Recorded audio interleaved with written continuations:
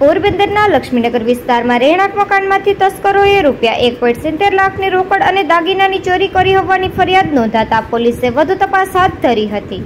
જેમાં ચોંકાવનારો ખુલાસો થયો છે કે ફરિયાદીની પુત્રીએ જ પ્રેમી સાથે મળી ઘરમાં જ ચોરીને અંજામ આપ્યો હતો.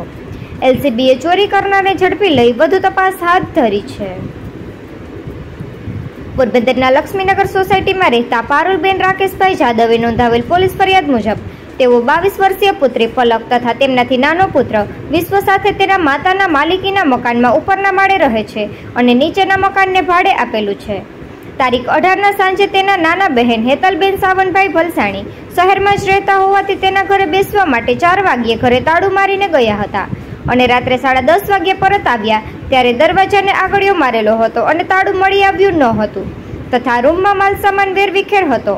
આથી તેઓ ચોકી ઉઠ્યા હતા. અને આ અંગે આડોશ પાડોશમાં જાણ કરી હતી. પોલીસને જાણ કરતાં પોલીસ પણ દોડી આવી હતી અને તપાસ કરતા પારુલબેનના માતા કુંદનબેને કબાટના અંદરના ખાનામાં રાખેલ નવ હજારની રોકડ ઉપરાંત પાંચ તોલા વજનની સોનાની ચાર બંગડી, બે તોલા વજનનો સોનાનું ચેન, એક તોલા વજનની સોનાની બે વીટી, પંદર ગ્રામ વજનની ચાંદીની લગડી વગેરે બારેક વર્ષ પહેલાં ખરીદેલા હતા.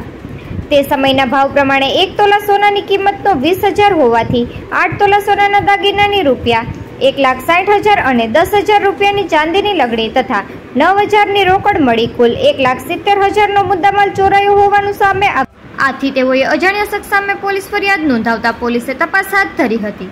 જે દરમિયાન એલસીબીના in charge PI R K Kambariya તથા સ્ટાફ લોકલ સીસીટીવી કેમેરા તથા નેત્રમ કમાન્ડ કંટ્રોલના સીસીટીવી કેમેરા તથા હ્યુમન સોર્સિસ મારફતે ગુનાનો ભેદ ઉકેલવા પ્રયત્નશીલ હતા.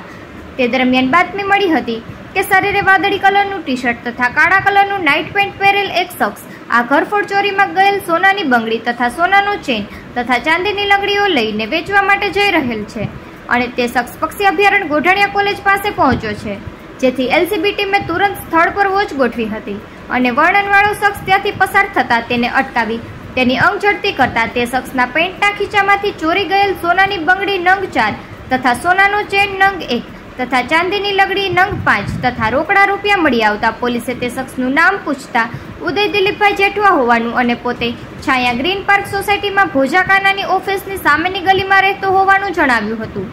અને તેની પાસે રહેલ ચેન અંગે પોલીસે યુક્તિ પ્રયુક્તિ અને આગવી ઢબે પૂછપરછ કરતા તે શખ્સ ભાંગી પડ્યો હતો અને જણાવ્યું હતું કે પોતાને પૈસાની જરૂરિયાત હોવાથી તે પોતાની પ્રેમિકા એટલે કે ફરિયાદી પારુલબેનની પુત્રી સાથે મળી પ્લાન કરી પ્રેમિકાના ઘરમાં જ ચોરી કરવાનું નક્કી કર્યું હતું.